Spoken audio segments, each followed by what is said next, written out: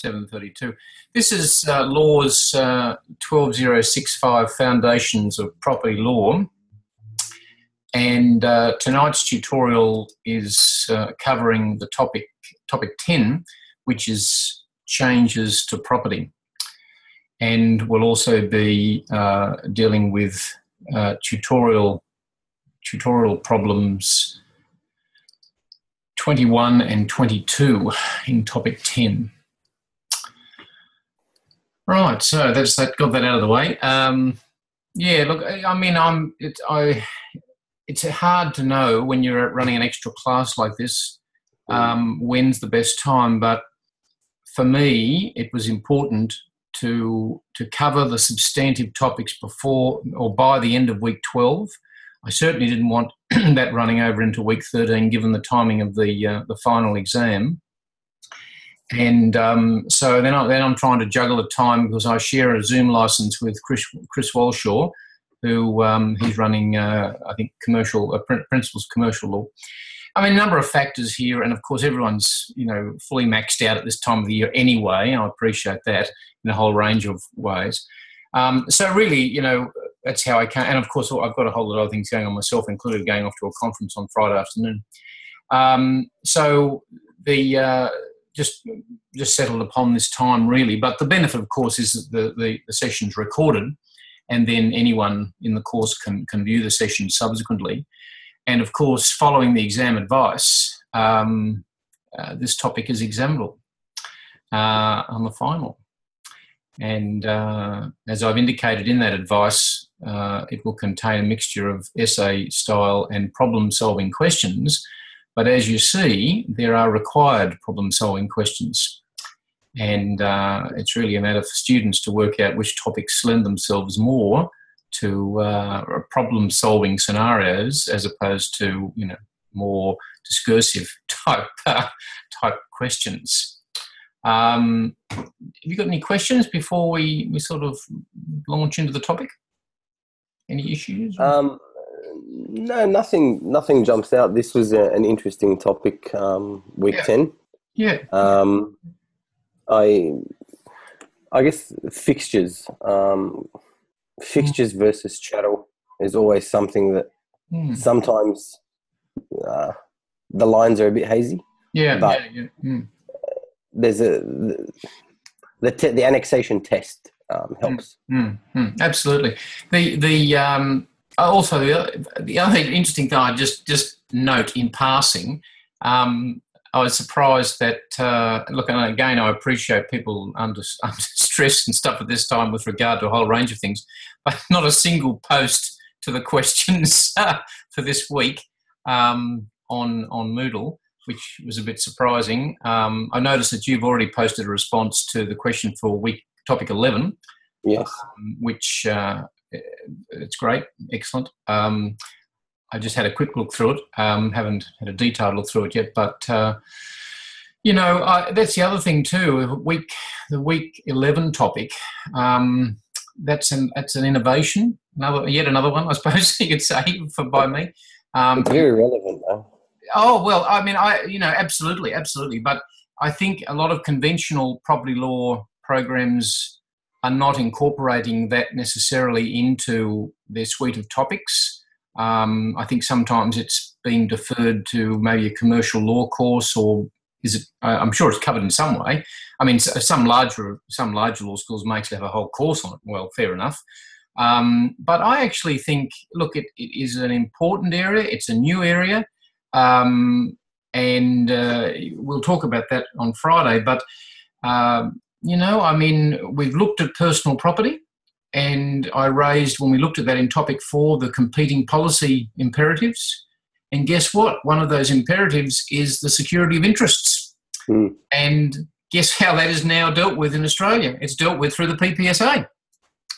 So, in my view, if we exclude it, um, it's, you know, I'm, i think it's a bit um, uh, inappropriate. I think it needs to be there. But having said that, it's a complicated area, and what we do and what we can do in the in the in the space that we have is is uh, introductory, I suppose. But I've tried to lay out the framework and, and the basis of the system by by looking at the key concepts and providing an understanding of that. Anyway, that will be dealt with um, on in Friday's class. All right, so this topic ten, uh, you know, basically, it's interesting. You know, the the title to the topic, and it's fairly evident for anyone that's you know that's read the um, the case book that I've just taken the title from the chapter in um, the chapter 16 in, in the case book. But I, I thought it was an appropriate title because it's effectively what is actually happening through these themes that, that we're looking at. And, you know, there is essentially three themes here. One is, as you've correctly identified, Samuel, firstly, is the very important um, doctrine of fixtures. Um, some books refer to that as the law of fixtures. It's neither here nor there as far as I'm concerned. Um, it's not actually an entire body of law in its own right. Um, I think the doctrine maybe is is it's fair enough. I, am happy to, to refer to it like that, and I've done so. Um, so that's the first major theme. Um, the second one is in relation to how do we deal with claims in relation to airspace, um, and what are those claims? Um, as you will have discovered through uh, your reading, that uh, historically, um, going back several centuries, uh, there was an idea that the claim the claim could be made virtually from the sur- soil surface to the heavens, wh- wherever that point ends, depending on what might you know what what worldview you hold. Um, hmm. which is was a bit uh, a bit of an outrageous claim, but the point is what what sort of c- control or what sort of claim can a land owner have over airspace above the, the surface of the soil of the land area that they actually have a claim to, right? And uh, we've already seen that the nature of that landowner's claim um, is actually really not absolute ownership anyway, but it's actually to uh, a, rights with respect to a period of time. Even if you know a fee simple interest, as we know today, um, equates almost to, to complete ownership, but it is still only a time um, uh, category of, of defining the rights that the landowner has. So that's the second major theme with regard to airspace. So that which is above the surface of the of the soil or the land, if you like. And then the third major theme is the one, well, what you know, not above, only above, but what about what about going under the underneath, going going to the subsoil? And um, of course, the the idea then is, well, what? How far do we go? We talk, go right down to the center of the center of the planet. Is that is that what we're talking about? Well, that would be a total nonsense as well. Um, and then, of course, we've got the other issue with regard to subsoil that we're not just talking about earth, not just talking about oil. Uh, sorry, partly giving it away. They're not just talking about soil, but what actually is contained within the soil. And we know, of course, that in the subsoil we find mineral deposits um, of different kinds. They can be solid deposits, they can be liquid deposits, or they can be gaseous deposits. And these things can be very valuable, as we, we know. Um, you know, all of our energy, basically, uh, you know, for, for the last hundred years, um, maybe not 100 years, but sort of thereabouts, um, has been based on the use of these fossil fuels, which are basically from deposits in the subsoil. So, um, issues about who owns that, who can get access to that, who controls that, uh, is a part of that, that theme with regard to what's in the subsoil. So that's the the parameters of what we're looking at in tonight's topic 10. Um, so we might um, just in our normal way proceed to the tutorial problems, which will help us to go back and um, dig into um, the, the, the, structure of those themes. So we've got um, problem 21. Um, now, problem, have you had a look at problem 21, Samuel? I, to be honest with you, I've skimmed at it, but yes. I'm, I've got some, some rough that's, some rough notes, which I'm going to have a look at now. Right, that's fine. That's fine. No, no, no worries with that. Um, we'll just. I, try, I, tried to read the the cases. Yeah, yeah. that's to understand that's, a little bit. That's excellent. I mean, that's the that's the strategy, and was actually good to hear your comment. I think you either said it in a tutorial or sent me an email that after we we, we had a chat early in the course, you mm. you readjusted how you were doing things, and that you found yeah. that readjustment or real or realignment to to actually make things much better and and also much more interesting for you. So I thought that was really um, yeah quite quite quite helpful to to say that. Uh, so basically, problem 21 is you know is indicated there is, is really about the doctrine of fixtures. If we you know it's fairly you know it's, there's several questions really within that. Um, we can break up the various aspects of it uh, in my view to like in the following way. The first one is the first aspect of the question or part of the question is focusing on well what was the original function of the doctrine of fixtures. In other words, why, why was why did the why did the common law, and of course we're talking about something here that's recognised through the common law, through case law, uh, and and it's common law, not not equity. It's common law that looks at this. Um, why was it identified historically? And that's actually, you know, that links a bit into the last part of the question too. And of course, you know that many of my questions or the way I'm st- structure things are ambulatory like this in the sense that they're trying to get you to think about the historical rationale, but then to cite that uh, understanding within the modern period to say, well, does therefore we have this concept emerge in the law out of a particular set of circumstances, as is the, the normal way, uh, at a, a particular set of social conditions or whatever at a point in history, is it is that concept still of continuing relevance today? And how is it being applied? Because what we'll actually i think discover i suspect is that the historical rationale for the development of the doctrine is somewhat different to how it's applied today and the reason why it has continuing application today. So the first aspect of the question is looking at that. The next one next aspect you know takes you into a bit of a situation where it's asking, well, you know, what about materials that have been used to construct a dwelling? Um, you know, do, do, they retain the character of personality? Uh, in other words, personal property, or uh, are this, you know, how, how is it that they they become maybe a part of the land or a part of the dwelling which is incorporated in the land? Um, or how do they how do they continue to to maintain their characteristics as items of personal property? So that's I'd say the second part. Um, and then you know, the next bit of the question is really linking back to that his, history again in terms of what was the purpose? Was it to um, to uh, basically about the conservation of community resources? Uh, and that's very that's very interesting insight when you think of the the the Palumberi case in terms of the, the fight between the two brothers over everything from from from Venetian blinds um, to, to curtains and and whatever. Um, and that's I think an interesting example of of how the fixtures doctrine of fixtures gets practically applied today that in the end today actually often has very little to do with this idea of conserving community resources. It's about um, fights over personal property and who gets what and, and, one, and so on and so forth. Um, and that history is also the next little bit there, linking back to the preventing of the wasteful process of dismantling objects affixed to land. Um, and uh, and then getting to your point that you've referred to, uh, Samuel, very importantly, that, uh, the, the annexation test, both in terms of the degree of annexation and the purpose of annexation. We see through the case law that there's been these two aspects of annexation, um, and and uh, we'll get a chance to look at that. And then the last bit is just again asking, well, its application uh, in in the modern period today. Um, so, do you want to have a bit of a stab any of that, or?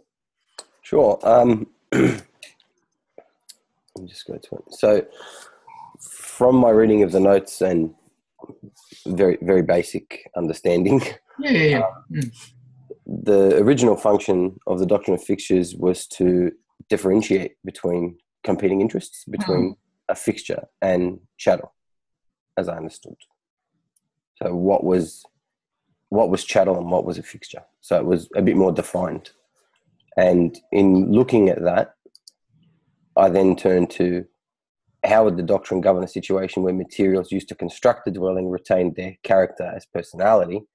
Um, I fall back on my engineering in that context. Mm. And I say, for example, if, if there's a, a wonderful sandstone heritage um, sculpture in a, in, a, in a garden, is that a fixture to, to an estate or a property uh, or land, or is it chattel? Mm.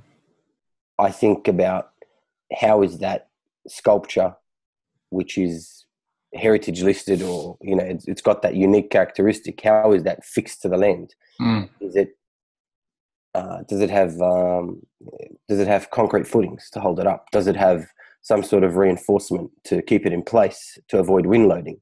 Mm. Is it resting on its own weight? Mm. Um, does it matter? Does it? I'm going to. I want to ask you a few questions in relation to that because that's a very nice example you provided.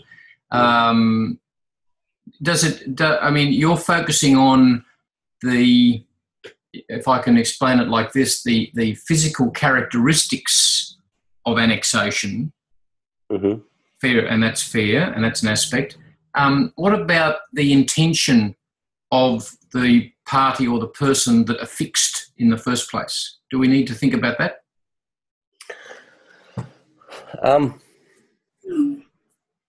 y- yes, we do, uh, because I think the intention is important because if you take it to a something that's not so fancy as a, a sandstone or a heritage sculpture, mm. and we talk about a kid's sandbox in mm. a backyard mm. or a piggy or a, a uh, cubby house, hmm.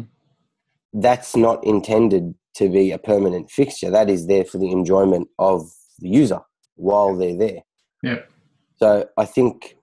And are we talking here when we when we when we when we're investigating intention? Whose intention are we focusing on? We're focusing on the. We're focusing on the the the primary uh, landowner's intention or the, the primary user's intent. Like if it's my house, it's my my intention. What did I intend when I put it there? The owner, let's, the let's, owner of the the owner of the of the chattel. The person that has, let's be more specific, the the person or the party who has affixed, if you like, okay, or has has uh, brought this item of personal personality or personal property onto the land right? Mm-hmm. And let's let's let's continue on for a little bit with your example. I want to use a few others, but um, let's continue on with yours. So we've got this sandstone. Uh, just say what what is it? It's, let's just call it a fountain. Okay, let's call it a fountain. Okay, so it's a sandstone fountain, um, and it's. Uh, do you want it to be heritage listed? It's it's up to you. we can okay. we can we can heritage. You want it to have nice uh, nice sculpting and this sort of thing. Yeah, it's, yeah, it's, yeah. it's, an artistic piece, is it? It's it's it, it, it's a it's eighty years old. Eighty years old. Okay, that's nice. And uh, um, is it is it a, it a substantial substantial piece? I mean, both in terms of size and weight and and girth and girth, absolutely. Girth. I was getting to girth. Thank you for We're that. There's your engineering coming through. so we're talking about some substantial item that um, has been placed on the land, and clearly from from the detail and the specifics that we've now agreed upon, it's obviously something not easily moved about. You know, every day you're not going to decide, oh, I'll move to this part, move to this part. Once it's there, it's there, basically, in a sense, That's isn't it? Yeah. Yes. But the question is, when we talk about once it's there, it's there. Is it important to, to reflect upon the intention of the person or the, the party or the entity that brought it there in terms of how long they wanted it to be there? Is that an important important question to ask? I'd, I'd say so because something like something like that or something of significance like that would have been in the planning of what the property or the amenity of the property. Amenity, it, good. Yeah, it, it, it is part of the mm. character of the property. It is how mm. you enjoy the property. Good. Without it, some of mm. the characteristics would, would not be there. And the uh, all these all these words that you're using, all good, all good. All so good. that's great. We're, we're, recording this session. we? we? are recording this session, sir. So issue, words words like or descriptors like amenity, character, utility.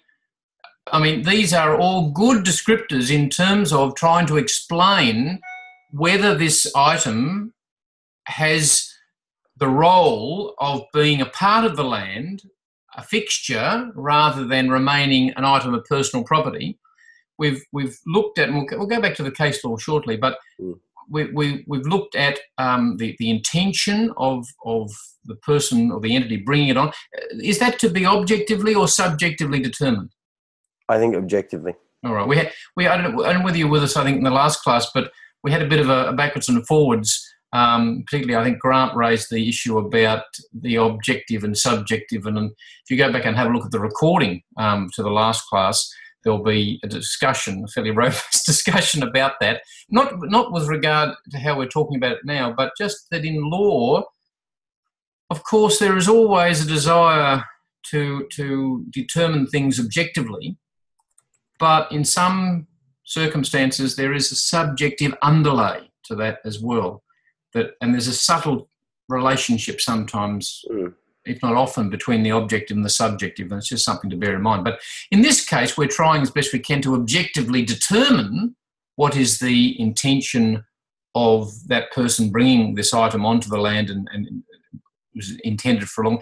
Is is the is the intention with respect to the period of permanency or the period or the duration is that is that determinative determinative of itself in terms of so in other words if we say it's intended that the person bringing it on there intended to be there for a long period of time which we can't really work out the end of. If we get a tick next to that does that mean it's a fixture? Um, it, more than likely it's a it's a fixture because it's like saying that I want to move a retaining wall off a property because mm. it's it's a it's a certain type of of, uh, of stone or brick that that I've enjoyed or that I liked at the time, but now I want to move it. No, it's it's there for a purpose. It's serving. It has a function that is directly annexed or connected to the the land itself. So be careful, be careful now. You're saying it is annexed. That's the thing that we're trying to discover. So we okay. can't well, draw okay. that conclusion okay. yet. Okay. I'm saying an, annexed in a constructive uh, I know that. I know that. But because I'll, that's use, I'll use a different term. Yes, please. Mm. It's um. It's it's it's it's okay. Its intention or its use it, has a an obvious permanent function connected with the land. Oh, that's that's useful. Yeah, and also another word that could be used is the idea of attachment. Attached. How is it attached? Okay. Now, the other point to note, and if we, we can actually go back to some case law at this point, and if you've got your notes open, mm. um, if you go back to, um, of course, um, well, you know, the, those two cases, the Blacker case, which is um, a 2000 decision of the federal court, on the one hand, citing the earlier decision of Australian Provincial Assurance in Coroneo, which is a 1938 New South Wales court decision and actually a leading authority in terms of this area of understanding the nature of the doctrine of fixtures. Mm. And then subsequently, or know, before that, actually, another New South Wales court decision, um, equity division of Palumberi mm. and Palumberi. Now, if we go back to Blacker's case, and in particular the, the reference to Coroneo, so if we look at the the quotation there from Coroneo's case, um, to remain in position permanently or for an indefinite or substantial period, right, mm. is a factor. Um, or, in contrast to that, or for some temporary purpose. So that can also be something that we are concerned about. So the, the intention with respect to duration is important, but it is not the only factor and it does not answer the question of itself in terms of whether this item is a fixture. A bit further down that quotation, the bit that I've highlighted uh, or I've underlined, the intention of the person fixing it must be gathered from the purpose for which and the time during which the user in the fixed position contemplated. So it is the contemplation of the person fixing and it is the intention of the person fixing that we're focusing on. Okay, but notice the last sentence, but each case depends on its own facts. Now you might say, oh yes, well, that's nothing nothing uh, terribly controversial there. Judges always say it depends on the facts at the end of the day. But in this area, probably more so than in some other areas, it is the case that the, the, the, the nature of the facts and the circumstances of the case are very critical to decide whether the tests have been satisfied. So let's go back to your example again. We've got the uh, fountain. I think you fountain is that right? Yep, We've yep. got fountain. fountain. It's got um, it's it's artistic. Uh, in your words, it adds to the amenity, to the utility, to the character of the of the land in some way. It's heavy. I think you've said it's a heavy item, mm-hmm. so not easy to move. I mean, is that an important factor? The fact that it's seeing like its weight is is making it difficult. Is that important? Is that a how do we deal with that? Yeah, I, I think it's important because it helps us consider whether it's something that. I mean, it's not a patio chair. It's, it's not, not something that can be it's not something that can be picked up and moved around and thrown in the back of the car and driven off with. It's it's there. It is it is a semi-permanent structure. So would it make a difference if, for example, the fountain was sitting there secured only by its own weight? Let's just make the assumption, but it's you know it, it flows from from what you've said in terms of this example that it's a substantial and fairly heavy item and it's not going to be moved around or blown around or whatever is it make a difference if it's just sitting there by its own weight, or, for example, if it's and just excuse me, my engineering understanding is no, okay. yours, but if it's sort of recessed into a concrete platform and secured into a recessed concrete seating in the ground, would that make a difference? Not really, because the purpose is still the same behind it, isn't it? the purpose is still to add amenity and enjoyment and utility to the land. It's not the way it's the mm. way it's attached is I guess it's a, it's it's a somewhat important factor, but it's probably not. It's probably a means to an end. It's probably just the means of how we got it there, so we can enjoy it. Let me ask you this question: When you talk about use and amenity, mm-hmm. is the fountain. If it, let's assume for a moment that it is in the former situation, that is, it's not actually recessed into concrete, okay, just sitting by its own weight. Could mm-hmm. it be argued that the fountain is there to assist the amenity and the use by the current owner, given how the current owner of the land likes to enjoy the property, but that when that owner ceases to be the owner, the owner intends to take it away with him or her because it's only related to their particular use or amenity rather than the general character and amenity of the land as such.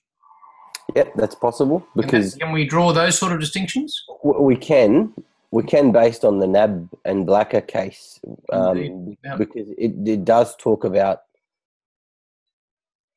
well the la- the last the last sentence says each case depends on its own facts. And, and in, in this case the facts are that the owner enjoyed it for a particular purpose and he wants to take it with him when he ceases to be the owner. And notice too that in Blacker, the the judge uh, Conti was identifying, as we've done already, the idea of the degree of annexation and the object of annexation. And further down in his judgment, uh, and I'm looking at pages nine and ten of the notes here, under yeah. purpose of annexation, and this is i I've taken this directly from the judgment. In determining the purpose or the object of annexation, a variety of considerations may be taken into account by the court, such as whether the attachment was for the better enjoyment of the property generally or for the better enjoyment of the land, the nature of the property, the subject of affixation, whether the item was in a position either permanently or temporarily. Notice all of these are factors to be considered. Yes. No one factor is determinative of itself, right? And, and we look at the whole fact situation. The function to be served by annexation, all right. What if, for example, using your example, your um, example you've given, that the owner of the land was actually um, a, a, a, bird enthusiast, and and this was a fountain to attract birds. um, that if we knew that, that might be fa- some factor to indicate that this is more in relation to this owner's use rather than the general character of the land as such, for example, hypothetically. And then degree of annexation, right? Some things, you know, things we can look at whether the removal would cause damage to the land. My uh, elaboration of your example, of course, if it's cemented into the ground, removing it would cause damage. Where if it's sitting by its own weight, not easy to remove, but you know, bring a crane in and take it away, and it can be done. It might have a bit of an indentation where it was sitting, but mm. no more than that. The mode and the structure of annexation, by what methods, um, whether removal would destroy or damage the attached item, and whether the cost of renewal would exceed the value of the attached property. Now, you raised earlier in your example heritage listing. Okay, again, if we have information about that, of course, that will bear upon the value of the land because if you've got something there that links to that, it can make the the the whole of the land more valuable because it might have heritage listed items or whatever. On the other hand, as well, it could create further burdens because it makes it more difficult to actually do things to the land sometimes. Maybe this, this fountain cannot be touched and nothing can happen within a certain perimeter of it. And that may mean that the subsequent owner, who maybe like a lot of owners today, wants to come in and bulldoze everything and build a block of flats because that's what helps make more money, uh, mm. can't do it, right? So, um, you know, there are those sort of factors as well. If we go to the Palumberi case, that I think helps us to um, use a, use a different type of example. So you, have used an example which is outside. Let's let's move to possible examples inside a dwelling. Right? What were some of the items that were in dispute between the brothers in Palumberi? Um, wasn't I need the... to refer back to the case. I didn't actually list them all in the notes because they were yeah, no. too extensive, but um, they're fairly they're fairly typical and generic. Yeah, I'm just opening up the uh, my notes on it. Um, they were mostly all the I'm going to say fixtures inside the property, like the blinds and the and those sort of things. Mm, that's right. So um, gas heaters.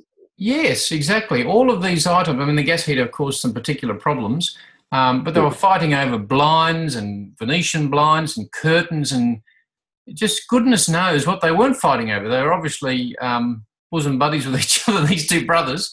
Um, but this is, I mean, this is an interesting thing in property law that that it's, you know, when there are relational breakdowns, whether they be business, familial, or or friends, and and they've done gone into deals and transactions and acquired property together or shared interests in various ways and then the relationship breaks down dealing with the property law consequences and fallout can often be you know um, very protracted and, and also you know interesting.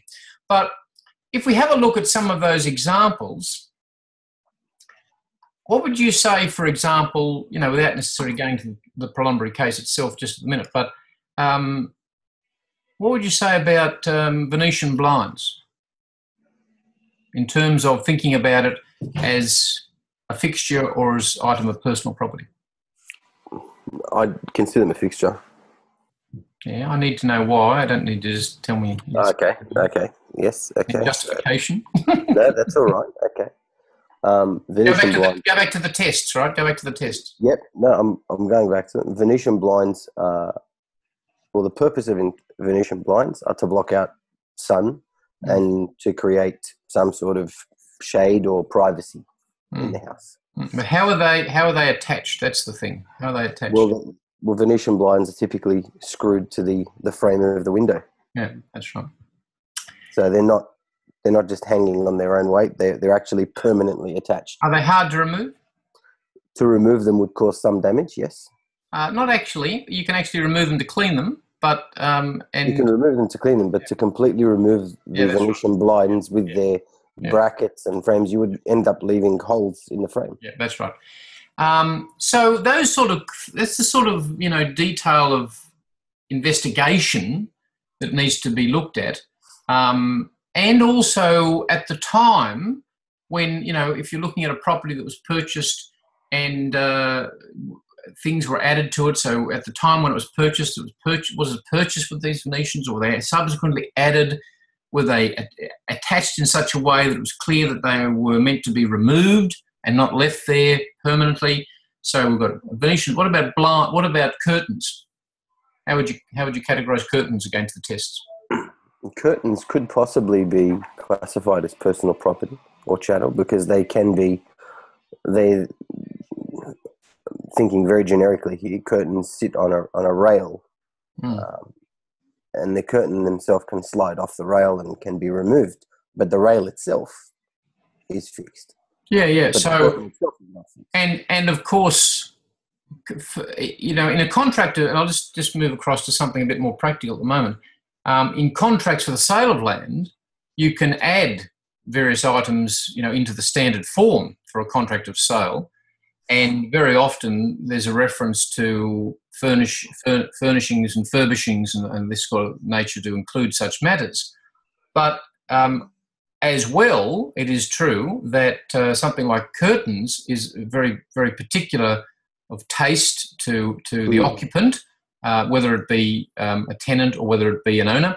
And um, that sort of lend, lead, lends itself a bit more to the idea that it's not intended to be there permanently or for you know to, to form part of the actual dwelling itself, but it's it's very much about the um, the decor or the, the, the sense of how the, taste yeah yeah to decorate um, for what for the period that they are in occupation right as owner or as maybe as tenant for example. We just go to the Palumberi case and um, if just look at page 11 there of my notes, after referring to the tests established for determining if an item is a fixture, the judge commented, there has been a perceptible decline in the comparative importance of the degree or mode of annexation, with a tendency to greater emphasis being placed upon the intention with which the item is placed upon the land. This shift involved a greater reliance upon the individual surrounding circumstances. One of the things to remember and bear in mind in this area is that I think it seems sometimes deceptively straightforward to take these tests of degree and purpose of annexation, apply them to what are essentially things in the nature of what was tossed up in the Palumberi case inside a dwelling or maybe some items outside a dwelling.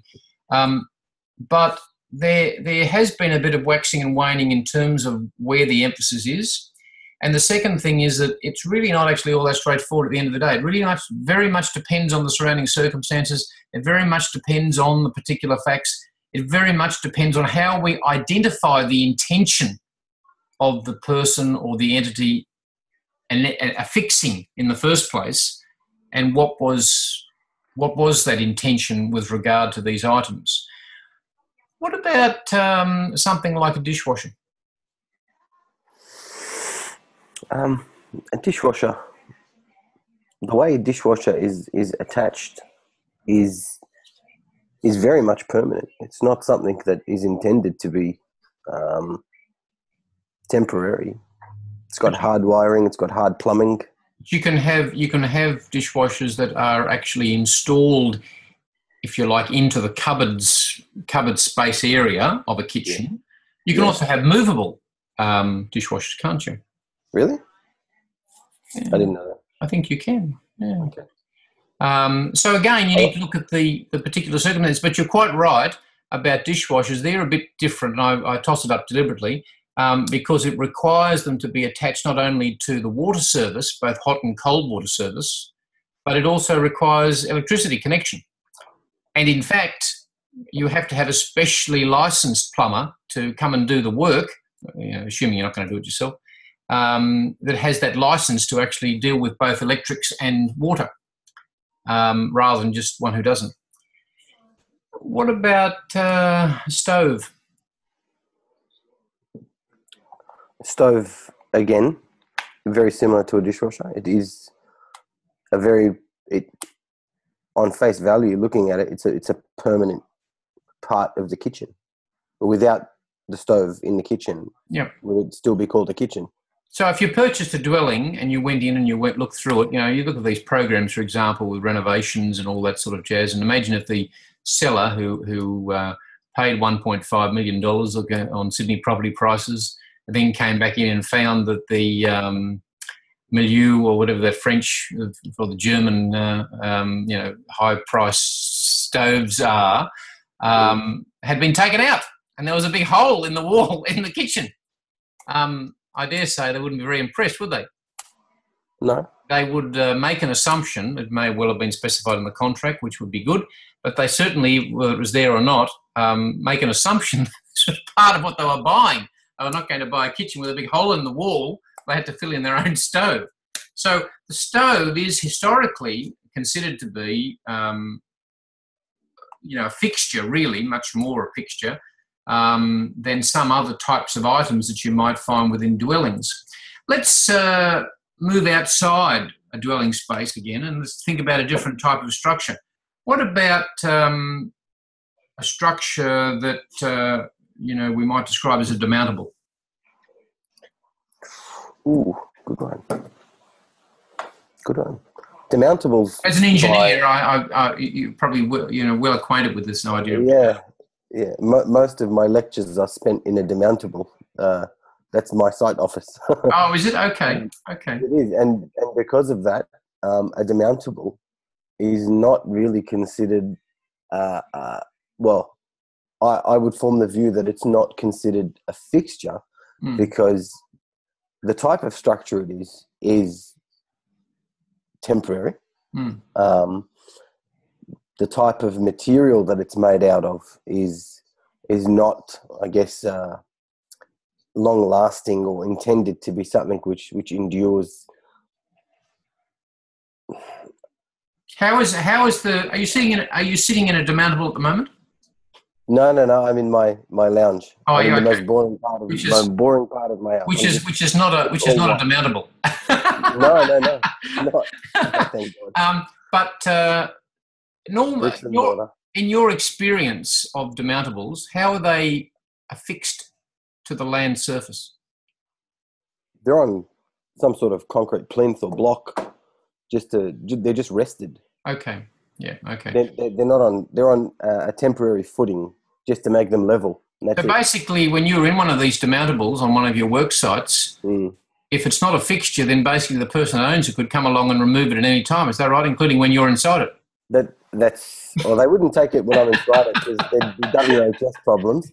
But it, it is certainly their right to come on site. I mean, we hire our demountables from from Coates or someone else mm. and it's it's basically leased to us for yeah. a period of time. Yeah. And they do bring it on a crane or on the back of a tilt tray, and mm. it's plonked where we tell them to put it, and that's it. Mm. When it's when the job's finished, they come and collect it. Yeah. Not, we don't have any rights over it. We only have a right over it while we while it's under lease.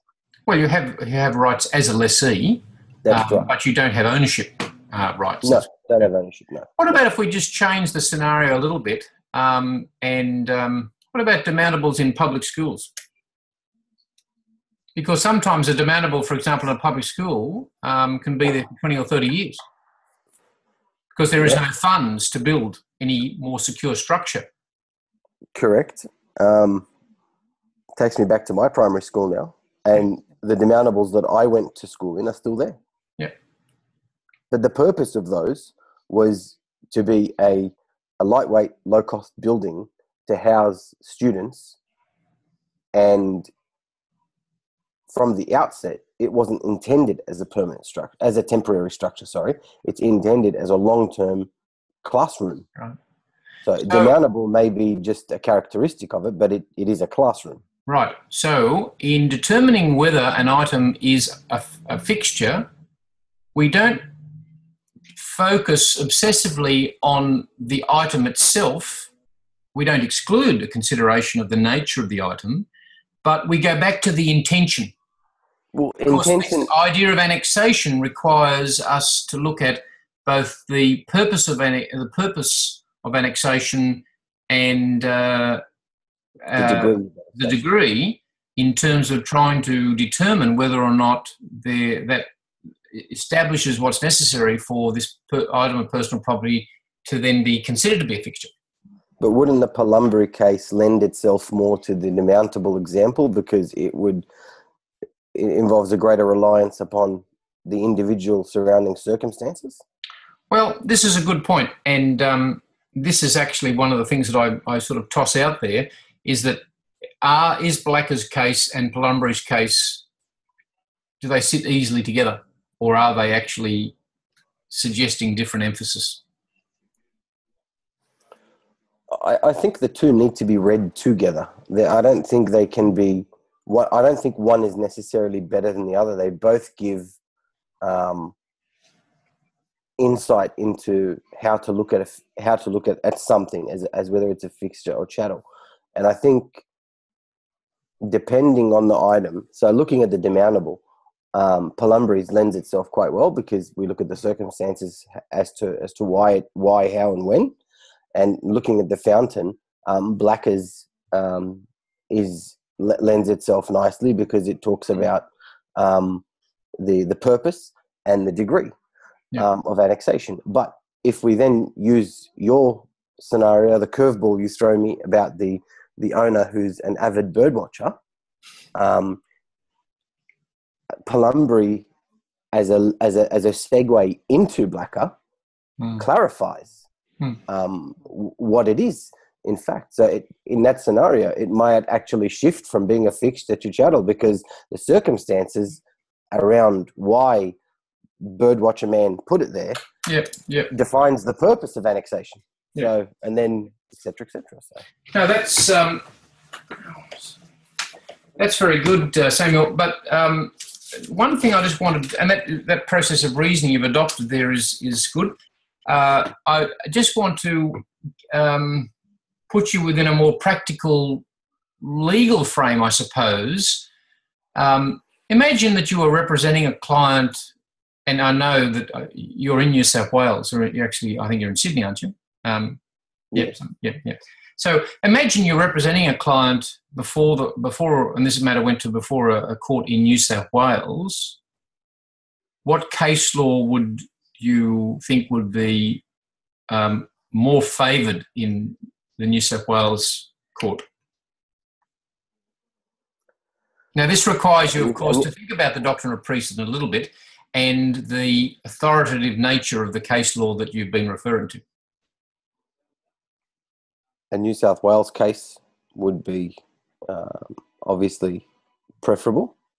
Um, Unless we have High Court authority, um, Unless we have High Court authority, yes. We don't. Got... We don't actually have any High Court authority on this point. Um, the cases we've looked at. So Palumberi's case, where's that from? New South Wales right. Equity. New South Wales Court, as a Supreme Court. Um, Blacker's case, what what jurisdiction? It's federal court. Federal court. That's influ- that's influential, of course. Yes. But jurisdictional differences. But what? But even Blacker's case relied on what case? Or, or it relied on the Australian Provincial Assurance. Case. Where's that from? That's New South Wales. Exactly. As well. So there's a strong body of case law really emerging here from the New South Wales jurisdiction, which would justify a New South Wales court tending in that direction. And the other thing that I point this out in the notes on page 11, the Palumberi's case was followed by, um, uh, well, what's yeah, Eon, Eon Metals? Yeah, yeah, essentially a Western Australian decision um, or involving involving you know the Commission of Tax in Western Australia. Um, so there's a strong sort of emphasis there in terms of that body of law in New South Wales. Now, what you said earlier, that's fine, and that's you know the logic you've used there and the analysis. That's good. Um, it also, I think, is sometimes important to remember the the structural features of, of how you use the law to present an argument, um, given you know particular jurisdictional factors as well and what law might be more influential um, to different courts and so on and so forth. Um, if we go back to, we're on about 8.30, so we, we want to finish off this um, just in a minute. But if we go back to the question, problem 21. So we, you know, we've dealt with the tests, we've dealt with how we how it works, um, the idea of fixing. What about the original, per, the original uh, or the rationale for the doctrine, and this idea of linking to the, the, the goal of conservation of community services, uh, community, sorry, community resourcing, uh, and preventing waste, the, the wasteful dis- dismantling of objects. How does that sort of that background rationale fit into how we're trying to use it? You know, in the Palumberi case, for example. You know. in, asks us to look at the individual circumstances. Mm, mm. Um, going back to community resources and wasteful processes of dismantling objects affixed to land. Mm. In other words, it's asking us to, to go back and, re, and think about the rationale for where the doctrine came from originally. Was the, was the doctrine created to deal with fact situations like in Palumberi, fights over curtains, Venetians, stoves, dishwashers? Was that what it was? Uh, was that what it was originally? How it originally evolved for to deal with? Well, this is you know facts to fact situations to deal with, or was it came out of something else?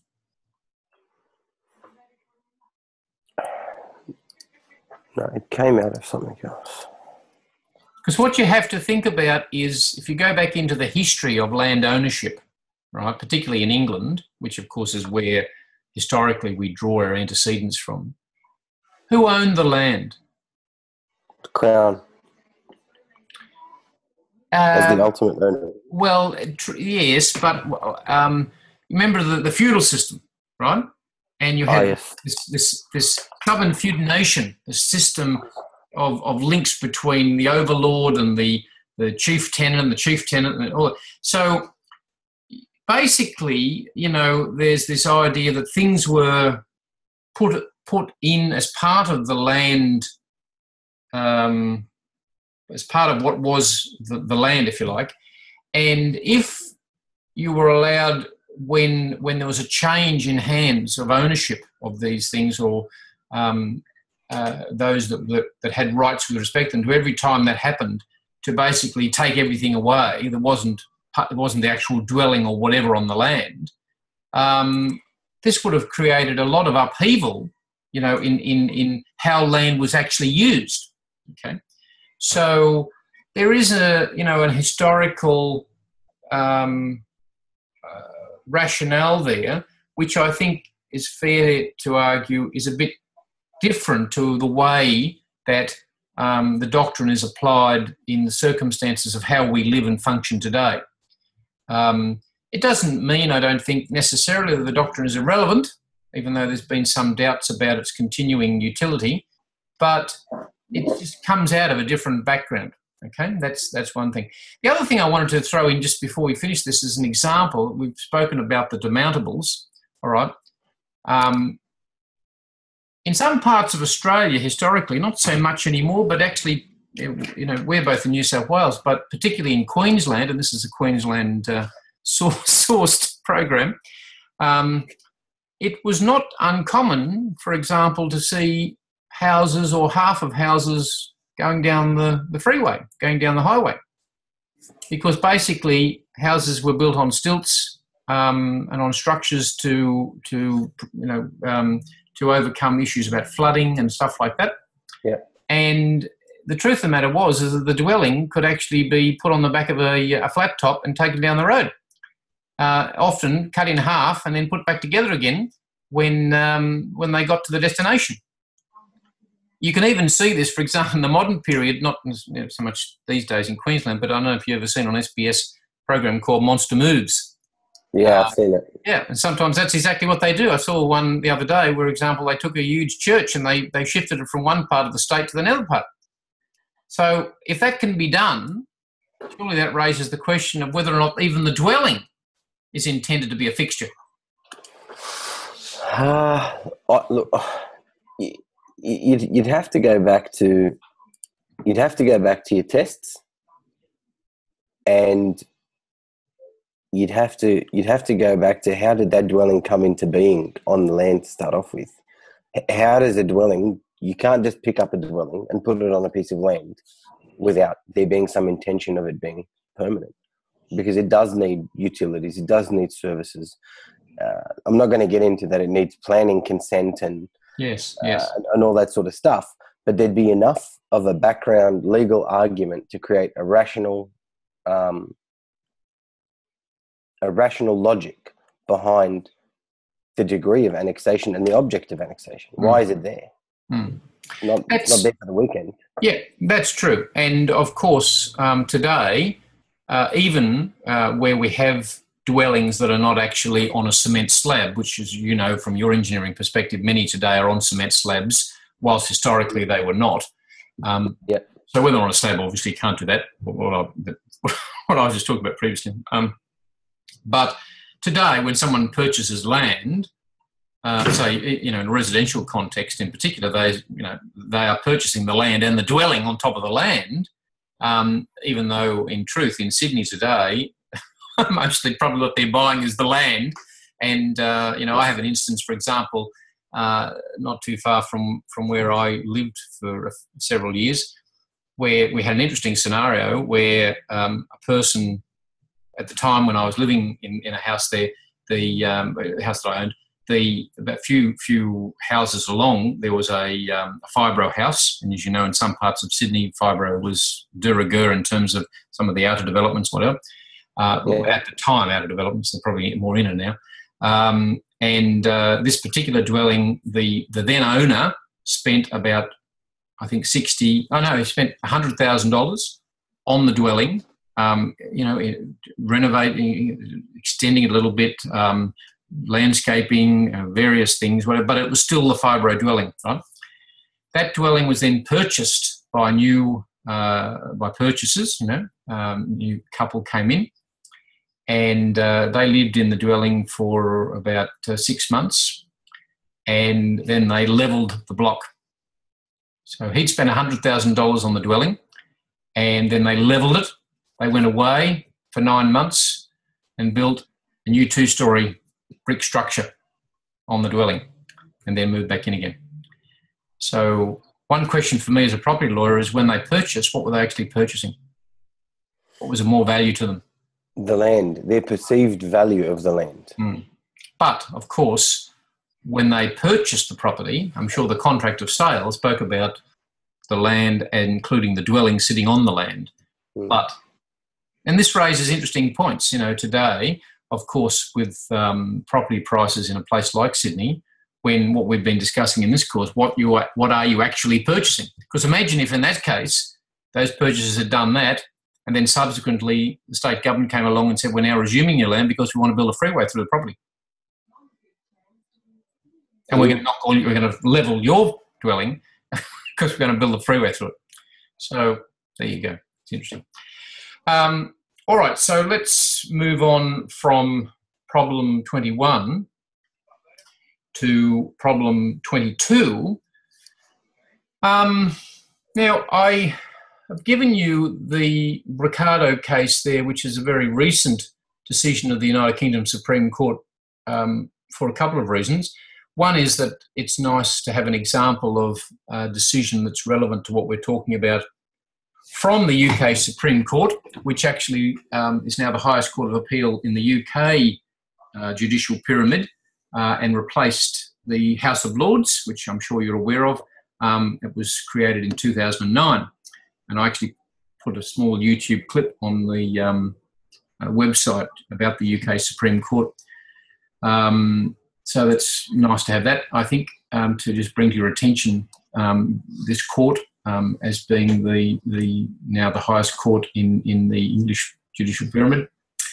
But um, in particular, the Bocardo case um, in the UK Supreme Court comes up with this statement the rights of the owner of the surface land to the strata beneath it stops at the point at which physical features such as pressure and temperature render the concept of the strata belonging to anybody so absurd, so absurd as to be not worth worrying about.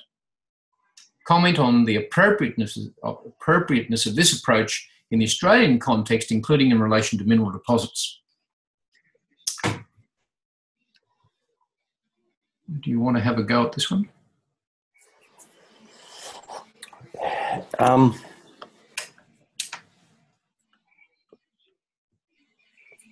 maybe maybe start firstly with the statement from Bocardo, and then we'll move on to the application.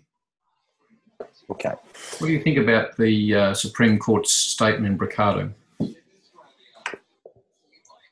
I think it's a bit subjective because who determines the concept of whether the temperature and pressure at a certain point in the strata, and this is we're now talking about subsoil here and subsurface, mm. um, is absurd to not worry about. Mm. If you if you if you again that depends on the owner and what their their view of what is important to them and what they want to gain out of this land. It's kind of it's got a mining sort of um, flavor to it, mm. um, or an extractive sort of property. Um, sorry, property. I don't mean property as in property, but I mean it's got an ex- extractive um, characteristic to it. Mm. Mm.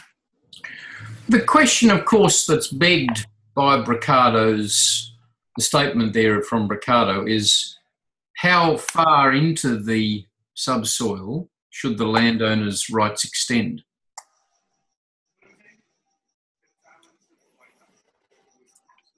It's basically saying that when it's absurd and not, not worrying about hmm. the,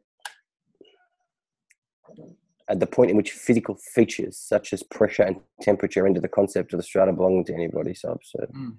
So is that 10 meters? Is that 100 meters? Is that a thousand meters? Is that the center of the earth? Hmm. See, this again takes us back to this tension between the objective and the subjective. You've pointed out correctly, I think, fair to say that um, there's, a, there's a clear subjective aspect to what is being said here in this formulation. Um, how do you, how does one determine these things? to a degree, of course, the, again, we go back to the idea of the particular circumstances of the case. Um, if we go back to the notes, for example, on page 15, where I discuss Bocardo's case, following that, um, the point is made there that, that basically what the judges are saying is that this reinforces the, the the earlier decisions uh, in relation to ownership of soil, um, or subsoil rather, um, which emphasised that the surface landowner could assert title in relation to subsoil within effective control. Hmm. But, uh, but there's a subjective aspect to that as well. I mean, what is effective control? You know, and, and, and uh, how far does one exert effective control?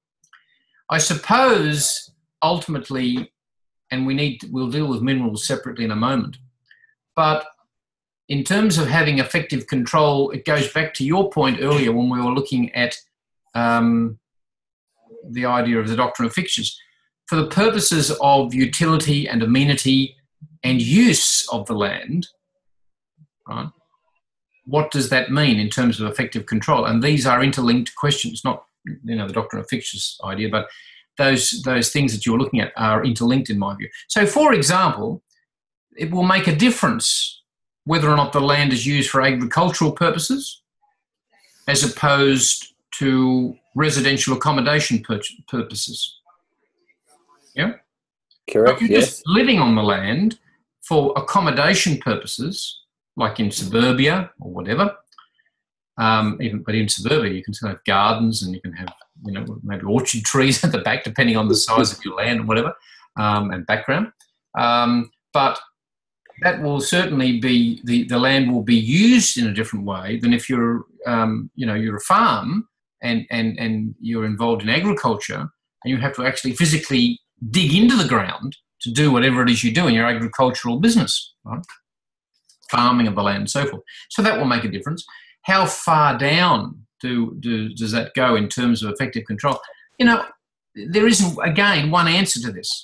It depends on the circumstances, but these are the things that we look to: the idea of effective control, um, the idea of um, well, going so far beneath the surface that it becomes ridiculous and it's it's you know nonsense to talk about having control. So if you were talking about you know the landowner of a block of land in um, suburbia Australia wanting to have control of the land for a thousand feet or a thousand meters beneath the surface of their land, then you know this raises a whole lot of issues. The other the other problem, of course, too, is that what what and, we, and again, I'm not even dealing with minerals at the moment. I will shortly. What else is under the land?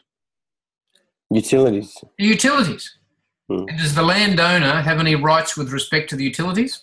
With respect to some utilities, yes. Example? Their house, uh, their telecommunications, their power, their water service, their drainage. But they don't own the utilities, do they? They they own they they do.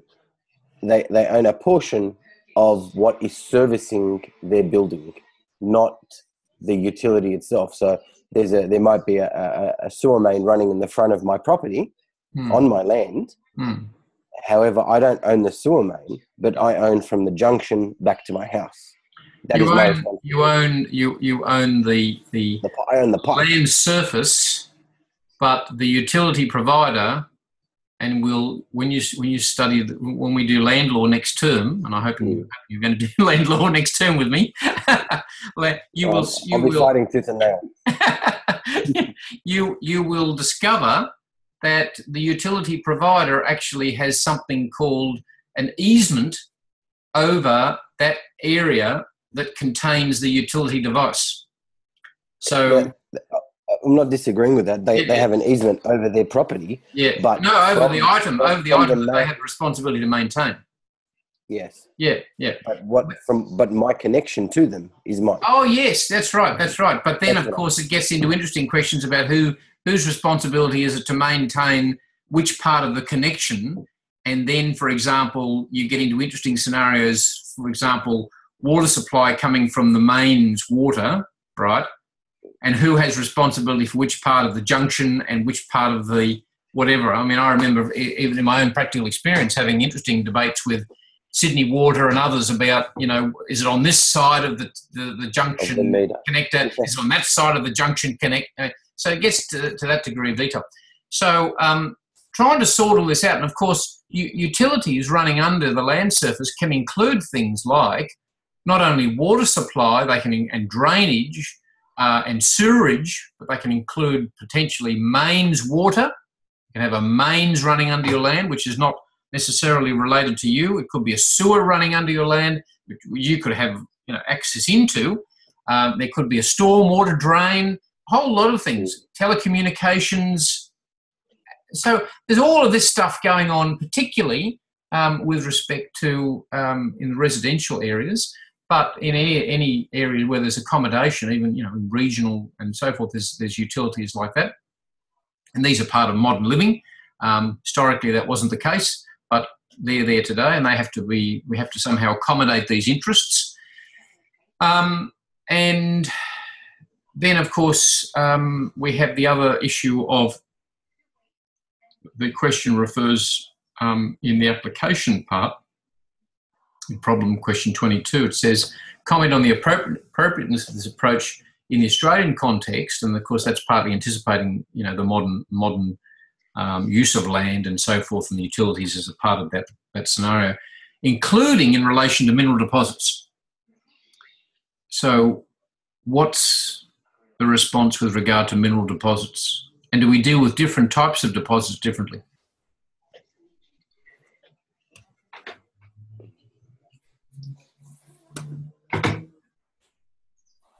We, we do deal with different mineral deposits differently. That's well put. um, I think it depends on the, the value or what what is perceived as, as a valuable mineral. Uh, yeah. Petroleum and crude oil, yes. Yeah. Um, shale and sandstone, no. What about precious metals? Am I thinking of any in particular? Gold.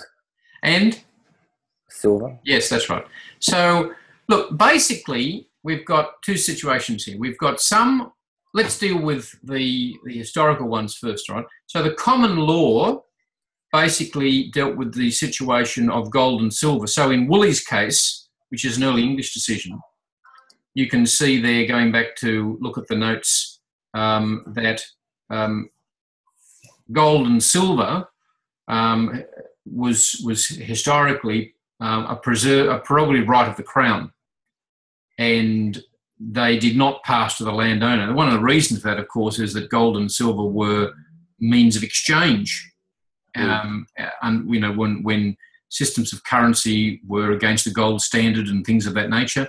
But these particular types of precious metals have always been, you know, of that nature really, and, of, and continuingly. But what's interesting is that, and I make the point there at the um, top of page 17 of the notes, that um, this goes back to a very early um, 16th century case, and should that still be justified today without any question? You know, we can ask that question open in an open way. And when, when we talk about precious metals, you know, why gold and silver only? What about diamonds?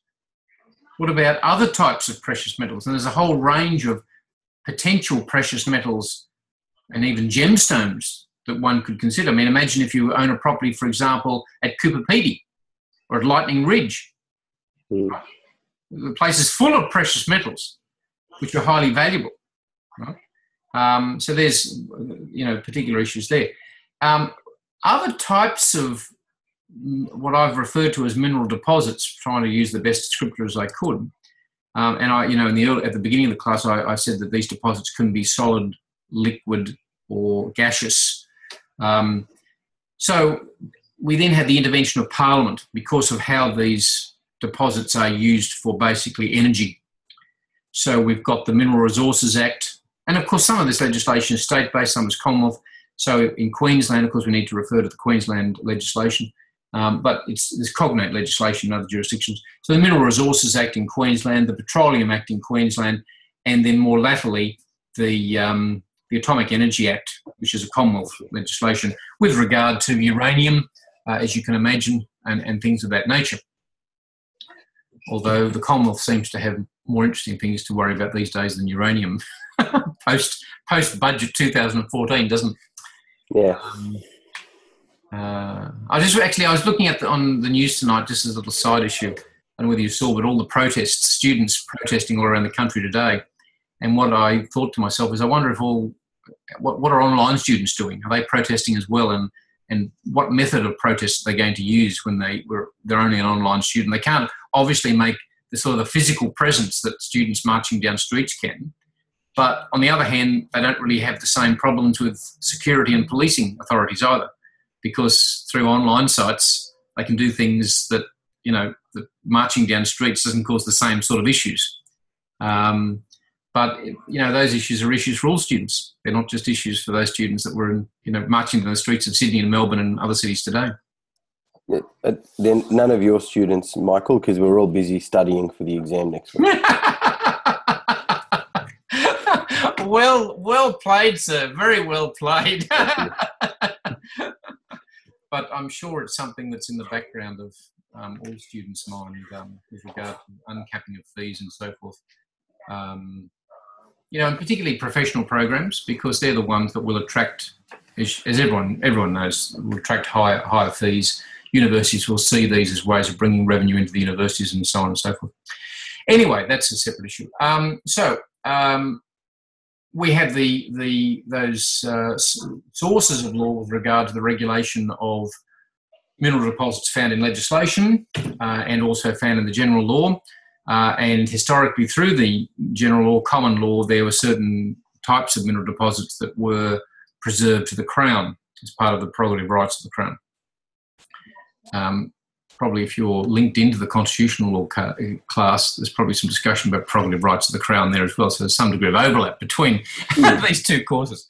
Uh, so, you know, that really then addresses that second part of the application of the um, approach in Bocardo to both the Australian context and also the situation containing or involving mineral deposits. It's yet another illustration of the limited nature of the rights actually that a landowner has.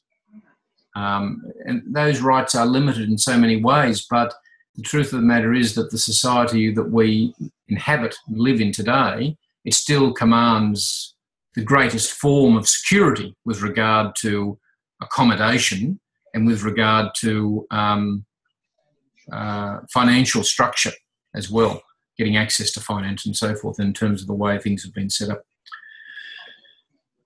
Um, all right, I just want to go back to, because there wasn't a question on this, but I'll just refer to it, and that is the issue about airspace, um, which is an important one. Uh, and, you know, the lead case there, which I've, you know, it's been around for quite a while, the Bernstein and Skyviews case, most of the books, including the reference in the casebook, give a fairly um, compacted view about the historical circumstances in which the Skyviews case came about. That's why I gave you the longer version of the facts taken from the uh, BAILII website. Um, you know, it's just interesting. And basically, you know, what was going on here was that you had an English aristocrat, a lord, complaining about the invasion of his his estate, basically in in um, rural England, and um, but the invasion was, in quotes, invasion um, was was basically a strategy that was being adopted to try and convince people to to you know get involved in in buying or selling land. That's the truth of the matter. Um, and the you know the issue is surrounded to you know in terms of what actually transpired in the case, the overflight aircraft, the taking of a photograph. You know, could he own all of this airspace so that nothing could violate it? You know, and and and that and he went back to this old Latin maxim from the 13th century that um, I own everything basically to the heavens, right? Um, well, the court, uh, um, the English High Court of Justice, dealt with that in fairly short shrift. Um, and I thought the, the reference to Lord Wilberforce in Commissioner of Railways and Valuer General was very interesting. Um, of course, Lord Wilberforce, famous judge, and a very had a very acerbic way of expressing his expressing himself at times. He was actually a little, a very, very, little short man um, with a bit of a squeaky voice, but um, an excellent judicial and legal mind. And, and in this case, he said that it was unlikely that such a sweeping, unscientific, and unpractical doctrine as that land meant the whole of the space from the centre of the earth to the heavens would appeal to the common law mind. If the Latin maxim were applied literally, it would lead to the absurdity of trespass being committed every time a satellite passed over a suburban garden. Absolutely right. Absolutely right. And so, again, we're, we're taken back to the thought and the idea that the, court has to always try and strike a balance between competing interests and, com- and tensions. And in trying to work out what sort of claims or rights over airspace a landowner has, that's exactly what um, they're doing in the Bernstein case. The problem in this case, is the, as the judgment goes on, the problem in this case was to balance the rights of a landowner to enjoy the use of the land, back to this idea of the use of the land, mm. against the rights of the general public to take advantage of all that science now offered in the use of airspace. The best way to strike a balance in our present society was to restrict the rights of the owner in the airspace above his land to such height as was necessary for the ordinary use and enjoyment of his land and the structures upon it. And that is abundantly sensible and logical. And it interestingly takes us back to a tension which we raised right back at the beginning of the course between the yeah. public and the private. mm.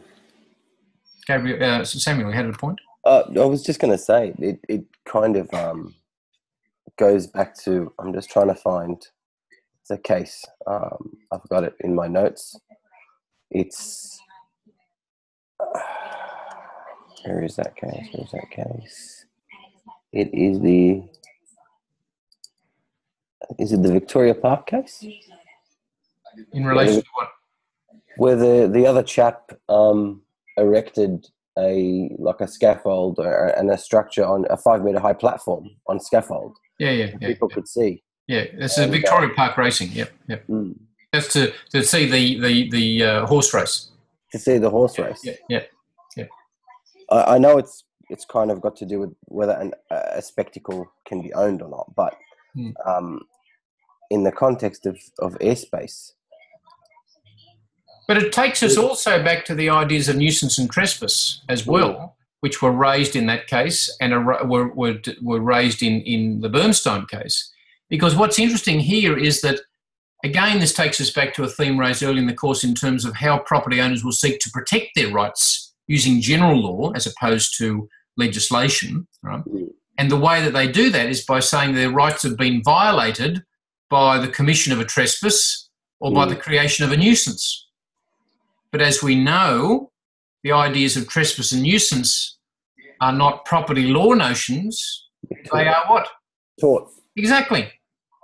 So here again, a point that was raised in last week's class about whether we should view property law, or in my view, any area of the law, but you know, my concern is property law, whether we should view it narrowly and clinically in terms of property law notions, or whether we necessarily need to be more expansive and, and break down the compartmentalizations that have, a, have you know, um, derived from the past and see really what we are concerned more about is trying to get a balance between rights and obligations, between persons or entities that come into conflict with each other, and what is the right balance to be struck. And the response to that is not one universal response, but it is informed by the varying situations, the varying circumstances, the varying conditions in which that is to take place. You know, are we talking about, for example, a problem or an issue occurring on private land and trying to strike the balance in that situation? Are we talking about something occurring on a public space, trying to get a balance between private rights and public use of public space? Are we as we've seen historically in you know in the in this course up till now. Um, what about circumstances of crown land? Remember some of the cases involving national parks and the right of private citizens. What were those rights?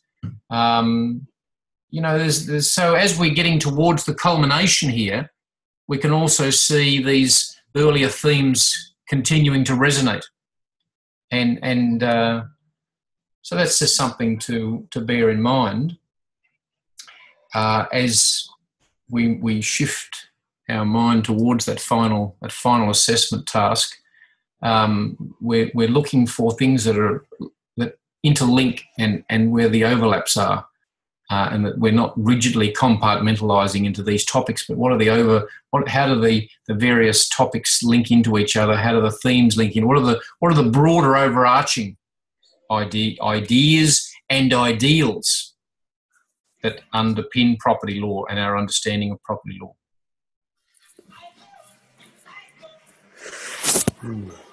So um, basically, um, that's that's where we are in terms of topic ten. What I might ask you to do um, is, you know, in a normal way, um, just um, you can write down what three takeaway points that uh, you've gleaned from uh, this session this evening.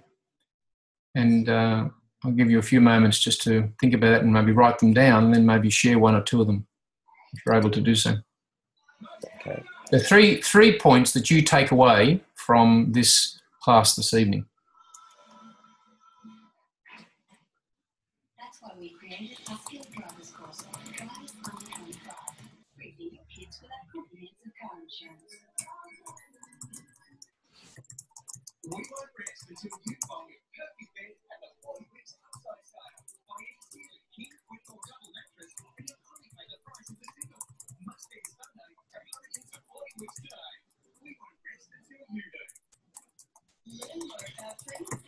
Okay.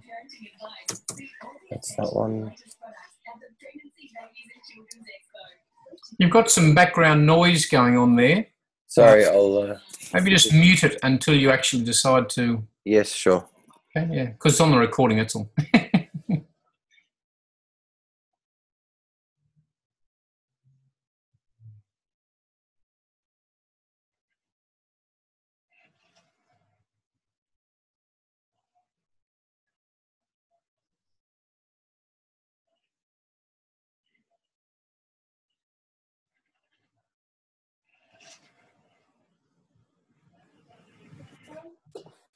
fine.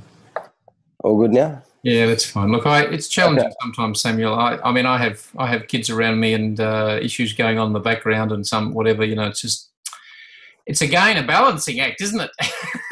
we get back to that point, don't we? Uh, mm. So, have you got uh, what would be a takeaway point or a couple for you?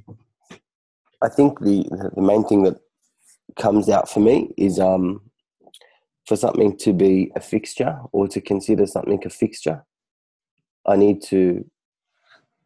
There's an objective test which needs to be applied, but has a somewhat subjective underlying tone to it, as per Palumberi. Mm. And um, depending on the jurisdiction, um, I'd need to consider which case law I need to apply to that and see which is going to be more persuasive to help give my client the right advice or to obtain a certain outcome. And does th- thanks for that. And and does the realization that law in the end sort of works between the objective and the subjective does that does that does that cause you to be unsettled or cause you concern or do you have some other sort of response to? Uh, it, it doesn't cause me to be unsettled. I think it helps me clarify how to form an answer to the question of law in front of me. Mm. Whether whether I'm trying to determine whether a demountable is a fixture or a chattel, mm. or if it's uh, if it's if it's fixed or if it's not fixed, if it's what's its intention, what's its purpose. Mm. It does float between the objective and the subjective, but in going through that that that cycle, you probably arrive to a more closer answer to what it is, as opposed to going, well, it's concreted, it's fixed, it's a fixture. Exactly. It still may not be a still may not be a fixture. It may not be, and the court at the end of the day may take a different view. One of the things mm. that I'm very um, firmly of the view of and I'm sure this has come through in, in all of my materials and my classes, that law and legal problem solving and advising clients and working as a lawyer and even you know working through the process of your, your, studies as being a student it's not a mechanical exercise. Law is not a, a mathematical problem to which there is this perfect solution waiting to be discovered um, like that wonderful, you know, um, mathematical theorem that was discovered recently, you know, in the last few years, hadn't been discovered for centuries or something, and it helped to solve all these problems. Whatever. It doesn't work quite like that. Um, even though we have this this array of rules and principles, the the exercise of how law functions is not um, a mathematical mind game. Um, with with with and, and that's actually what makes the exercise in my view more interesting but for some it makes it more challenging and it makes it less certain. And it's partly that that explains the reach of law as well because it then moves beyond that that matrix of rules and principles as we've seen in this course into the broader landscape of social political moral and societal contexts and conditions in which these rules and principles emerge to help shape how we are, how we can cohabit, how we can use things, um, and so on and so forth. Yes. There we are, sir. Topic ten, done and dusted. thanks for uh, thanks for joining, um, and um, we'll be covering just for, for the purposes of the recording and also for yourself. We'll be covering topic eleven on Friday in the regular regular time slot, which is the last topic. Um, it's the class from 11 till 12:30, uh, 11 a.m. till 12:30 p.m. on Friday this week, week 12, and then on Monday at this time, this same time slot. That's Monday of week 13 from uh, 9 7:30 p.m. till 9 p.m. I'll be doing the exam preparation class for anyone that wants to come along, and it'll be recorded too. So. Oh, that's good. Okay. I, I, have a constitutional law moot on Monday night. Ooh, at that time, I'm sure. it's, 7 p.m. Uh, I'm, I'm, sure you can't miss that one. I'm, I'm, in. The, I'm. I'm in the moot. It's, uh, this is my assessment task. Okay, okay, good. So. I'm going to be um, I'm going to be one of the assessment items in land law will be a moot, and uh, I'm just uh, not yet, but I'll give some thought as to how I'm going to structure that in terms of teams of students and so forth, so that everyone can get involved in it in various ways.